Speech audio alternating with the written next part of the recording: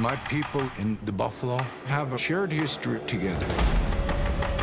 The buffalo was sacred, and they could not imagine existence without the buffalo. They were put on this earth to help us survive. To think that our greed and our industrialization would blink this thing out.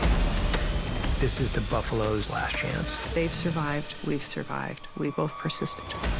Stream now on WHRO Passport.